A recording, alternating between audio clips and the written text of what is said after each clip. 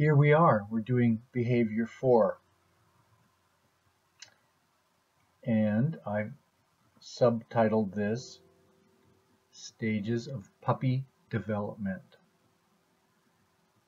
Every young animal probably goes through these stages, but they're pretty well defined in puppies.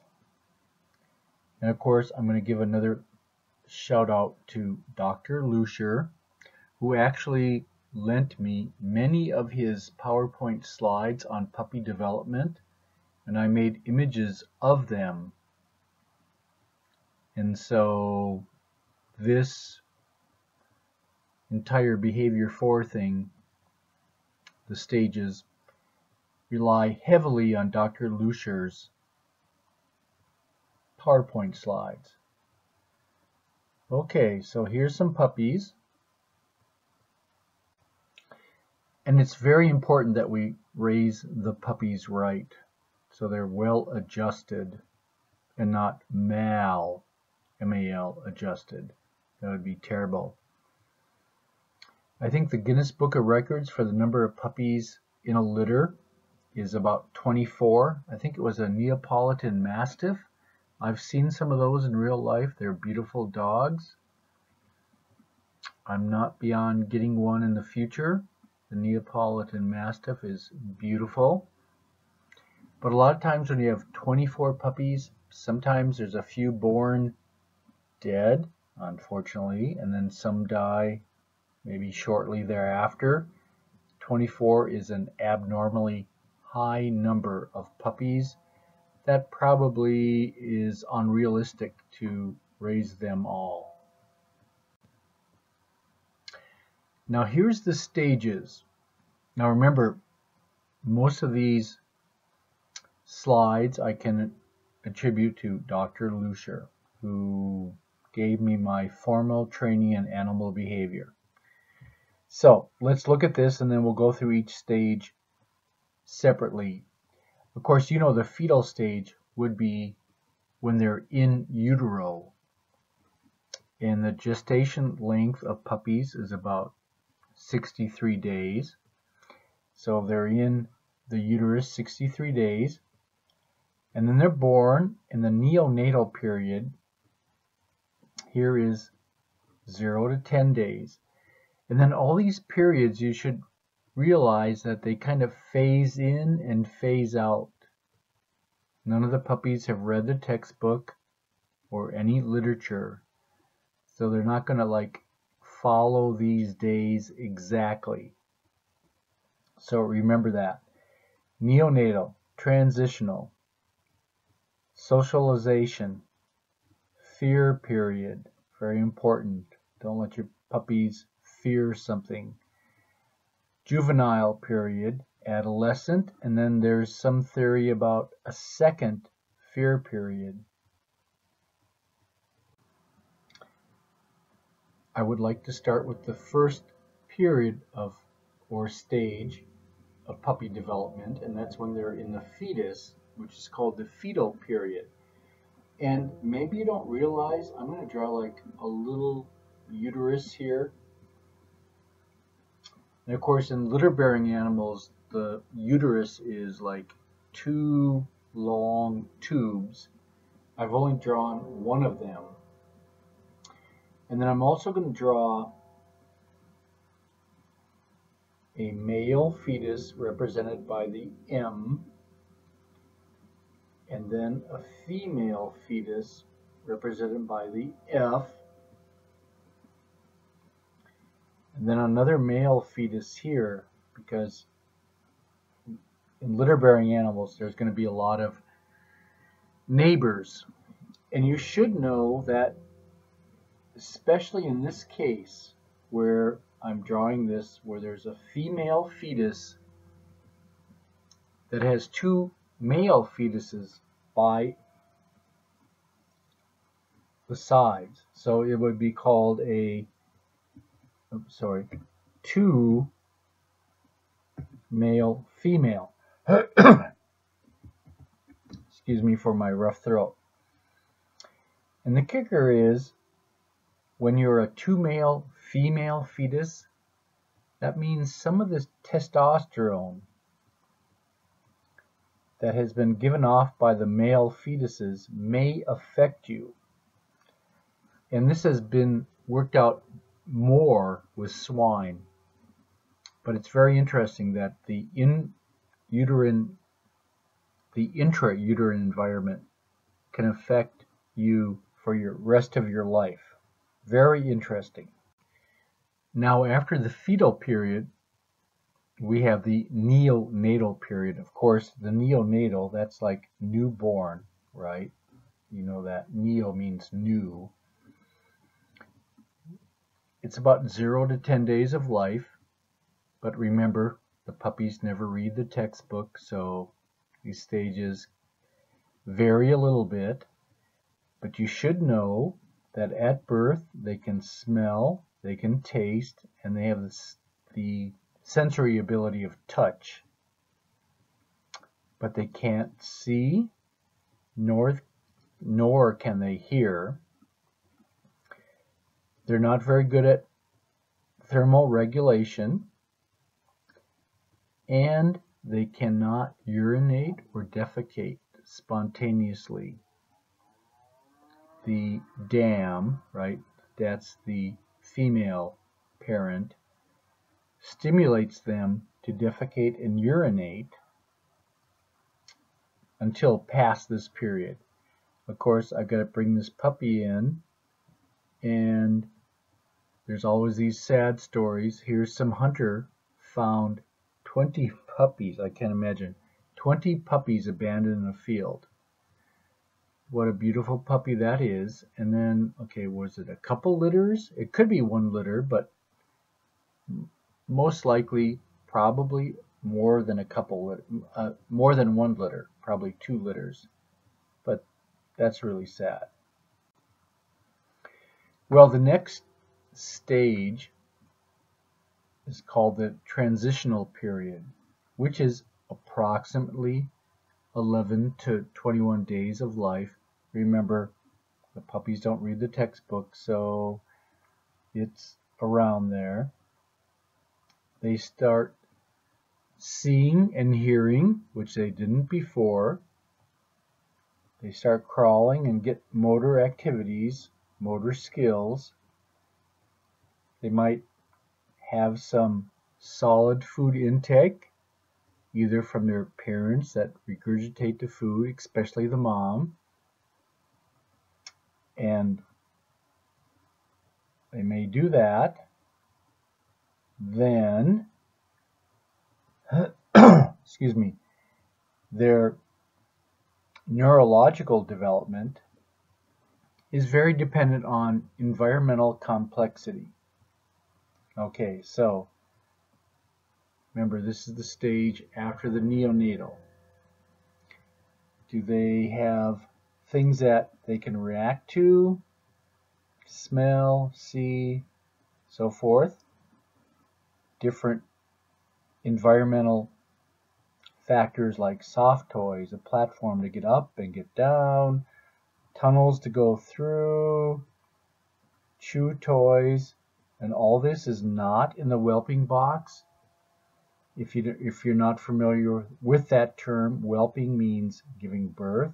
So they're going to not, this should not be in the box where they gave birth. This should be someplace else. Some other things. Okay. Well, now they're going to be able to urinate and defecate by themselves.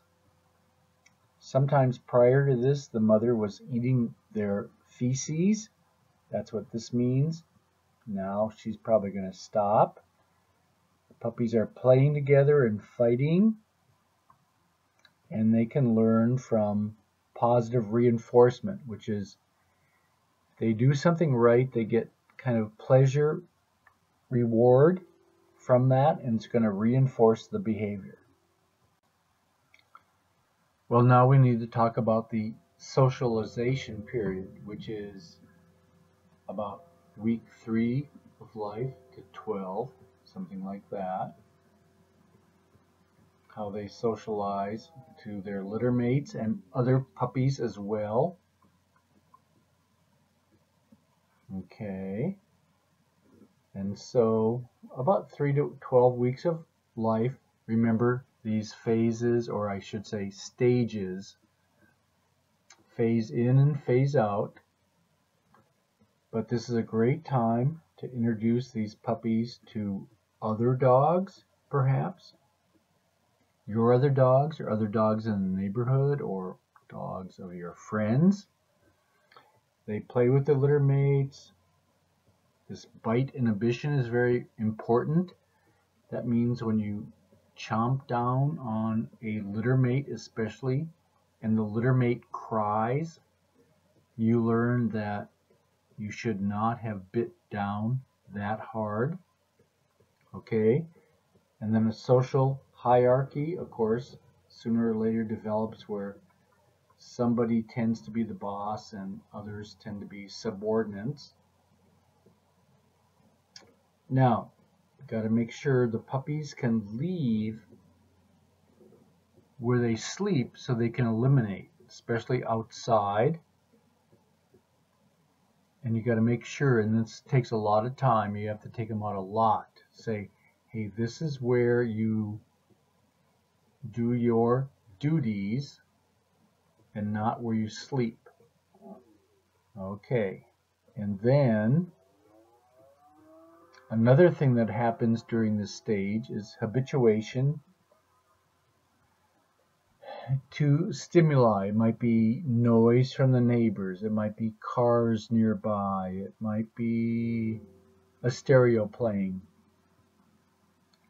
And also, sometimes you advocate audio tapes of thunder, lightning, loud noises, trucks coming by. Introduce it slowly and then build up because then you develop habituation, which is, we defined this earlier, where you don't react to neutral stimuli.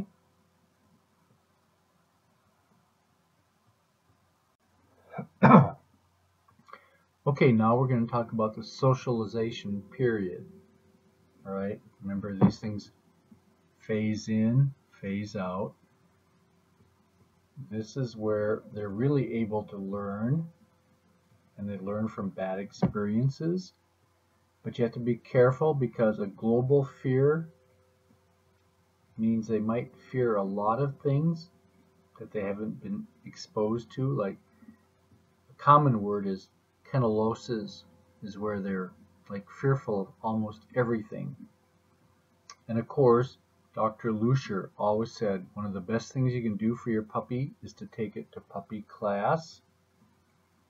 And I will second that emotion, that's for sure. In this socialization period, they become desensitized to certain objects, situations. They should be given a lot of environmental complexity, taken out to puppy parks as long as there's not like the flu going around, which we had earlier some years. Okay, got to be careful. You always got to temper that. And then sometimes some people think there's a secondary socialization period to humans and other pets. It might be cats. That's in the later portion of this socialization period. Now the next stage of puppy development is the fear period, which is very interesting.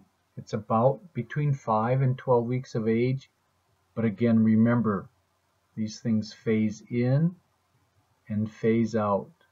They can learn a fear to something. And it's very important that you be careful about this. Stronger fear reactions and they retain their fear sometimes to an object or a person. Got to be careful about. I've heard of people having puppies that were ruined by one exposure to a very traumatic situation. Of course, genetically, puppies are different.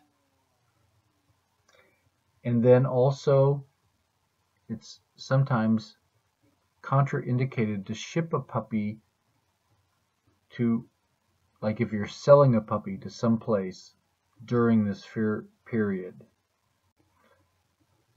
Well, after that fear period, there's a thing called the juvenile period, which is, again, approximately three months of age to puberty, and puberty differs. The smaller dogs experience puberty at an earlier age than, let's say, a bigger dog like a Great Dane. This juvenile period has obviously a lot of growth. They're becoming more independent.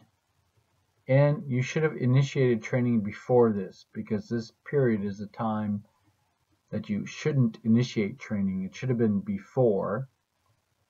And then hence early training pays off.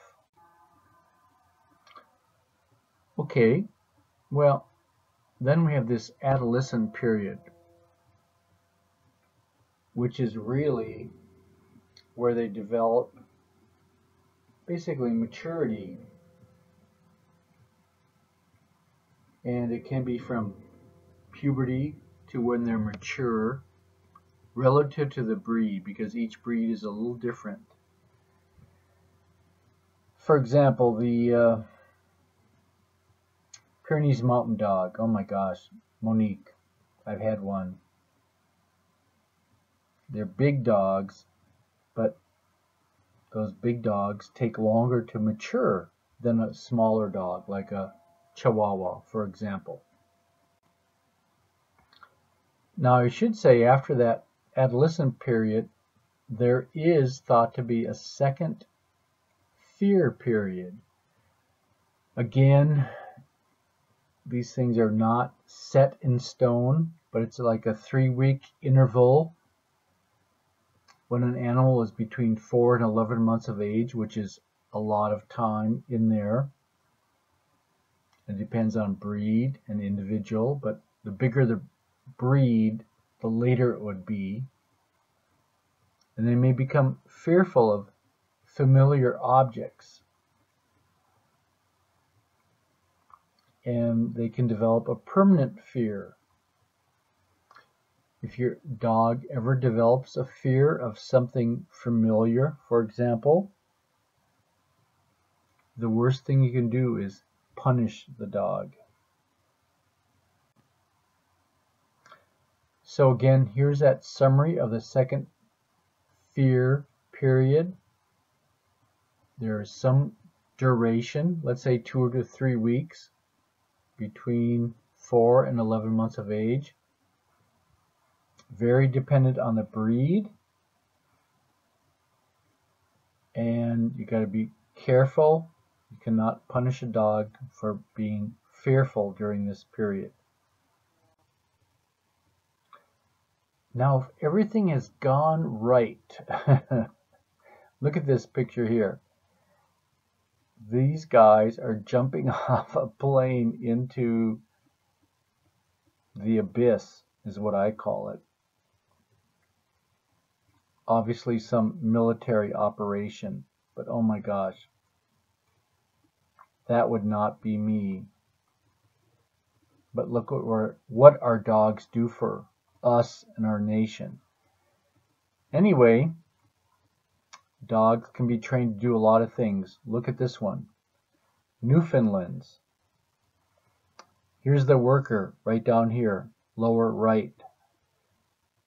Got the rope, in its mouth and is doing one, two, three, four, five, six, seven, eight, nine dogs.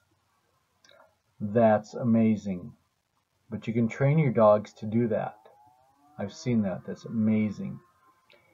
Hey, Newfoundlands, of course I'm biased now, having Newfoundlands. Here's a Newfoundland jumping out of a helicopter going to help rescue somebody that's over here in the water.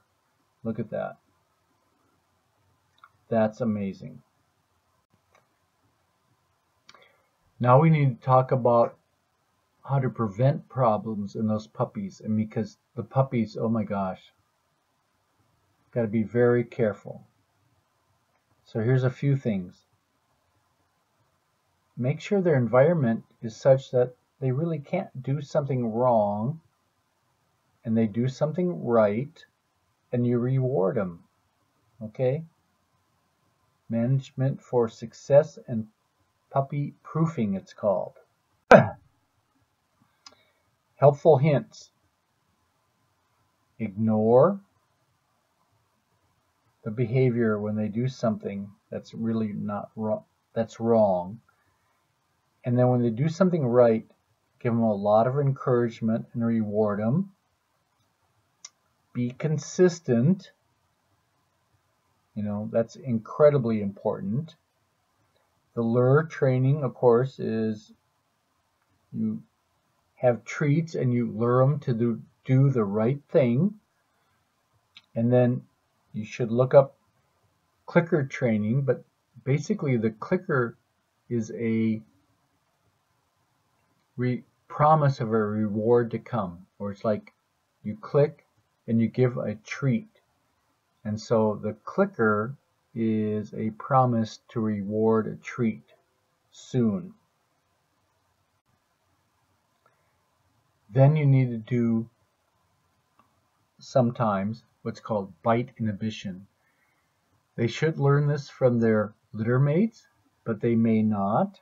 And what you do is when the puppy does play with your hand,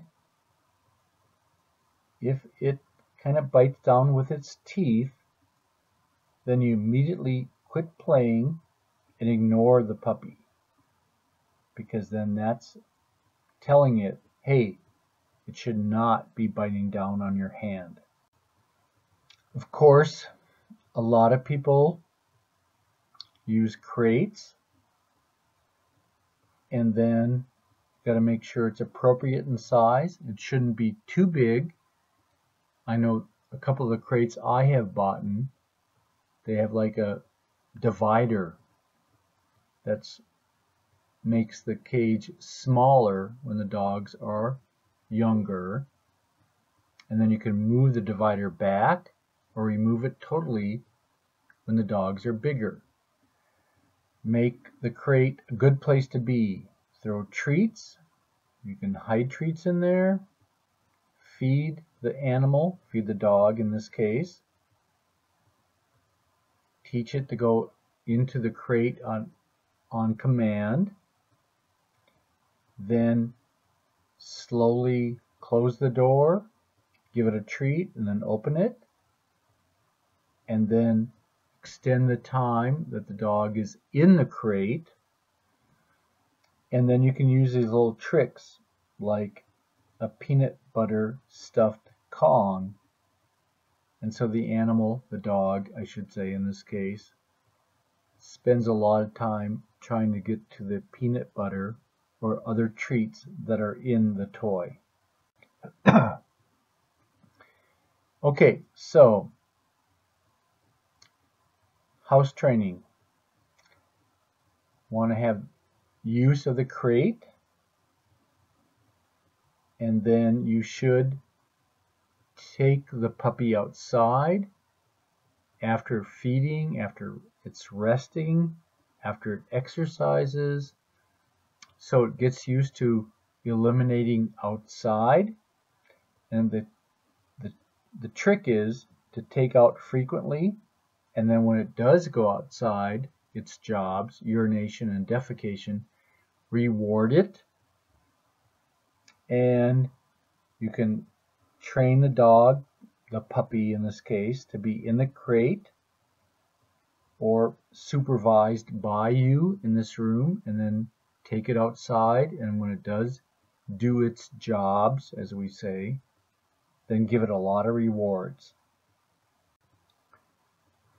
Okay, another thing about problem prevention, thanks to Dr. Luescher's slides here, we need to train our puppies to be alone.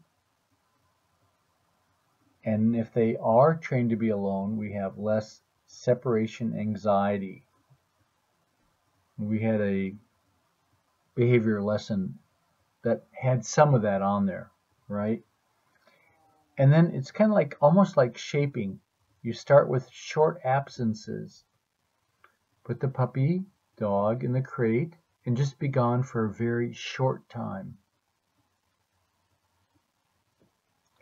And then you can put things in its crate, maybe something that it chews or that it likes to be with. And then here's a nice thing to know. Never get the dog excited when you're leaving. That's this bottom line. Ignore always before leaving. Never say, oh, Brutus, gotta go, gotta go, see you later, whatever. No. You just kind of like almost sneak out and it won't get hyper excited that you're going. Of course, now we're just talking about a multitude of problem prevention situations. The food bowl is interesting, right? I mean, okay, food bowl safety. This is titled you measure out the food in another bowl and you sit down with the puppy and you empty the food bowl but then this is beautiful